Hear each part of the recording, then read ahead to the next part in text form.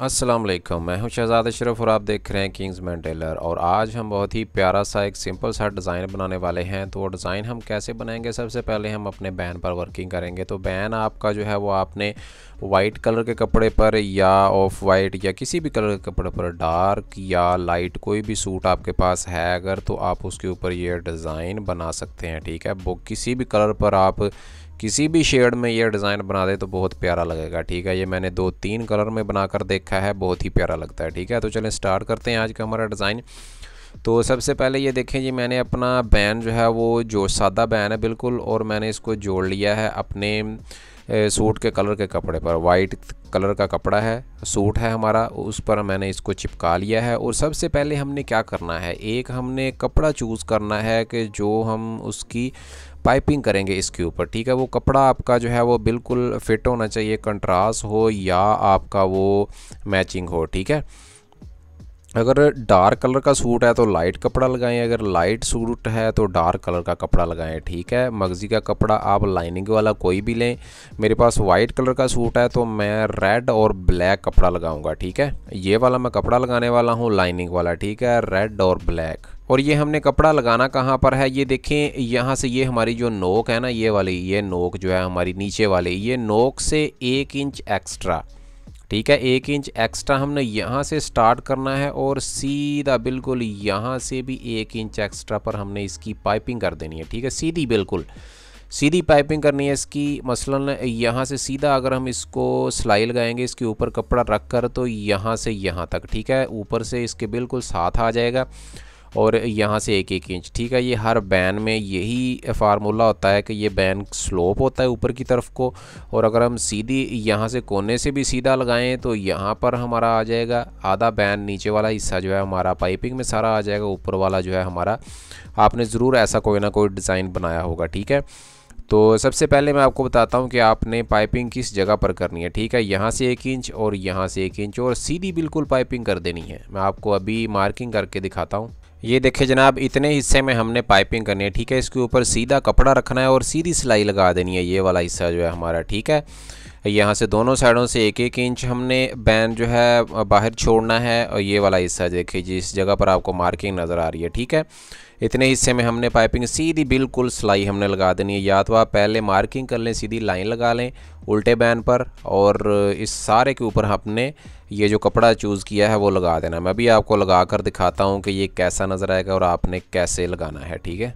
ये देखिए जनाब, ये मैंने पाइपिंग कर दी है। इसके ऊपर इस तरीके से आपने पाइपिंग करनी है। कोई भी आप कपड़ा लगा सकते हैं रेड कलर का रेड के साथ ब्लू या रेड के साथ ब्लैक या कोई भी लाइट या डार्क शेड आप लगा सकते हैं। इस तरीके से आपने इसके ऊपर सबसे पहले पाइपिंग करनी है, ठीक है? सीधी बिल्कुल, ठीक है? अपने बैन के हिसाब से, ठीक है? बैन आप ख़ुद काट लें या आप सादा बैन भी लगा सकते हैं, जो बाज़ार से सादा मिलता है, ठीक है? और अगर फ्रेंच बैन लगाएँ तो उसमें ये मुश्किल है डिज़ाइन तो आप सादा बैन आपको लगाना पड़ेगा ये वाला, ठीक है? और ये पाइपिंग करने के बाद हमने क्या करना है? इसके बाद हमने करना ये है कि यहाँ से ये देखिए, सीधा बिल्कुल एक कपड़ा लेना है हमने। उसकी हमने ऊपर से पाइपिंग छोड़नी है तकरीबन कोई डेढ़ सूत की, ठीक है? यहाँ से ऊपर, जैसे हमने इसको सीधा बिल्कुल अटैच किया था, उसी तरीके से हमने इसके ऊपर एक कपड़ा लेना है। या आप बुकरम का पीस भी लगा सकते हैं अगर नरम वाला बुकरम आपके पास है लट्ठा बुकरम जो होता है ठीक है? अगर वो है आपके पास आप उसका भी लगा सकते हैं क्योंकि इसके ऊपर अब हम ए, उसके बाद करेंगे चावल टांका सिलाई चांपा सिलाई भी इसके ऊपर हम लगाएँगे ठीक है? और मैं आपको यही सजेस्ट करूँगा कि आप इसके ऊपर कपड़ा लगाएँ ठीक है? कपड़ा आपने लगाना है, इसके बिल्कुल ये देखें यहाँ से हमने एक सूत की, इसकी पाइपिंग छोड़नी है और यहाँ से तकरीबन कोई एक इंच की, ठीक है? एक इंच इसको हमने फोल्ड कर देना है अंदर की तरफ़ को, यहाँ से सीधा बिल्कुल।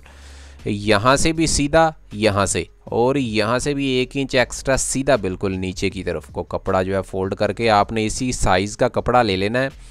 तो मैं अभी आपको इसी साइज़ का कपड़ा लेकर दिखाता हूँ कि आपने कैसे इसके ऊपर लगाना है, ठीक है? ये देखें जनाब, ये कपड़ा इस साइज़ का आपने कपड़ा लेना है, बिल्कुल इसके ऊपर आपने चिपकाना है, इस तरीके से सॉरी चिपकाना नहीं है, यहाँ पर रख कर इसको सिलाई लगानी है आपने, ऐसे, ठीक है? इस तरीके से, ऐसे बिल्कुल सीधा कपड़ा लेना है और दोनों साइडों से आपने इसको फोल्ड कर लेना है, ठीक है? ये देखें, जैसे मैंने फ़ोल्ड करके इसके ऊपर लगाया है ठीक है? इसी तरीके से आपने इसके ऊपर फ़ोल्ड करके इसके ऊपर सिलाई लगा देनी, ठीक है? यहाँ पर भी और यहाँ पर ऐसे, इस तरीके से, ठीक है? और ये आपका डिज़ाइन हो जाएगा तैयार। और इसके बाद हमने करना ये है कि ये वाला जो हिस्सा है ना, हमारा ये वाला ये जो नीचे हमने कपड़े का पीस इसके ऊपर लगाया है, ठीक है? उम्मीद है कि आपको समझ आ चुकी होगी, कोई मुश्किल नहीं है यार इसमें, ठीक है? पहले सीधी सीधी पाइपिंग है, कोई मुश्किल नहीं है इसमें।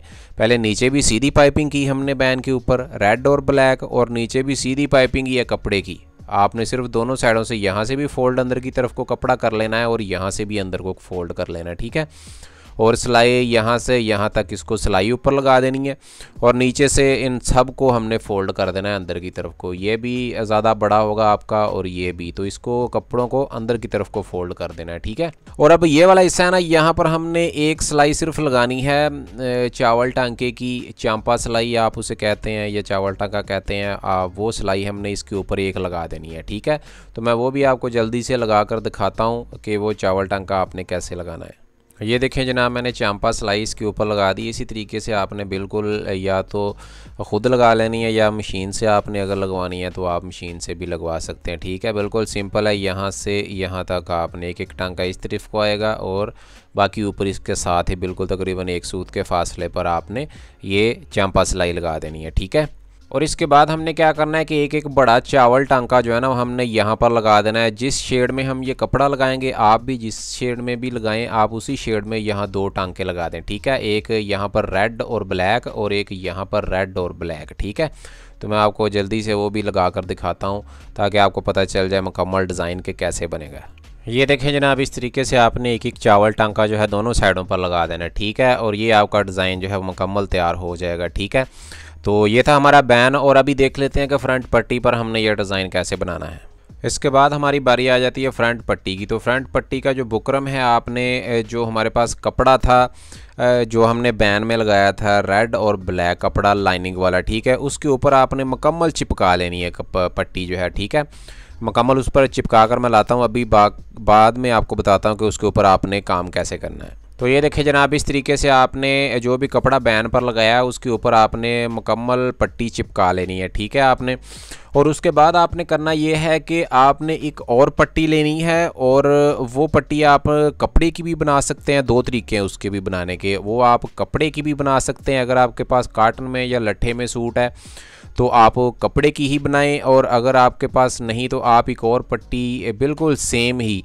सिर्फ़ इससे कोई मसलन के जितना आपने फासला रखा है ना बैन के दरमियान में, उतने फासला इसमें आपने छोटी पट्टी रखनी है आपने, ठीक है? और तकरीबन कोई एक सूत छोटी पट्टी इससे रखनी है और नीचे से यहाँ से उसको कट देना है एक आपने, ठीक है?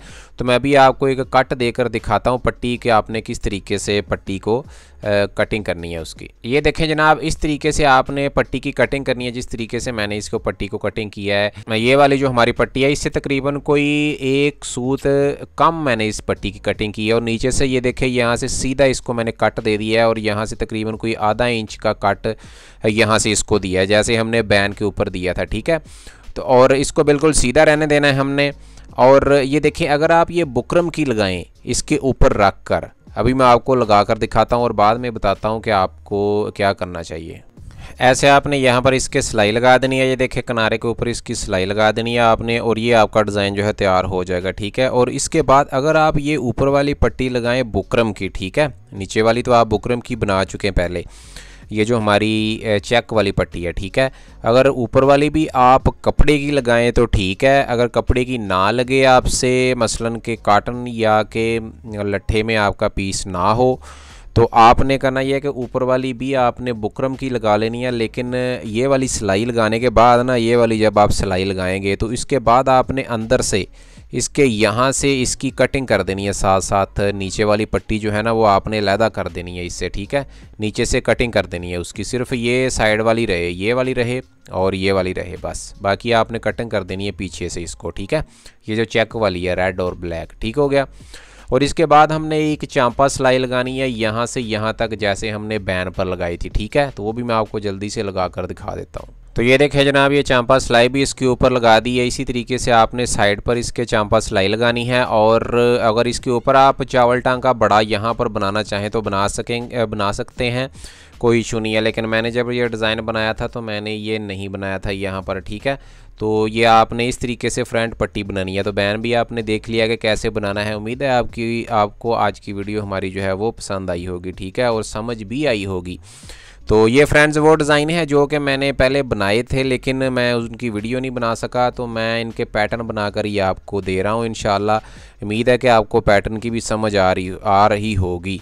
तो आज की वीडियो आपको कैसी लगी कमेंट्स में हमें ज़रूर बताइएगा और वीडियो को लाइक शेयर ज़रूर कीजिएगा और चैनल को दोस्तों के साथ फैमिली मेंबर के साथ ज़रूर शेयर करें। और अगर चैनल को सब्सक्राइब नहीं किया तो चैनल को सब्सक्राइब करें, क्योंकि इसी तरीके के प्यारे प्यारे पैटर्न या डिज़ाइन हम लाते रहते हैं। और घंटी के ऑप्शन को लाजमी प्रेस करें ताकि हमारी हर वीडियो की नोटिफिकेशन आप तक पहुँच सके। मिलते हैं नेक्स्ट वीडियो में, देखते हैं हमारा मुकम्मल डिज़ाइन तैयार होकर कैसा लगेगा। थैंक यू अल्लाह हाफिज़। इंतज़ार ज़रूर कीजिएगा।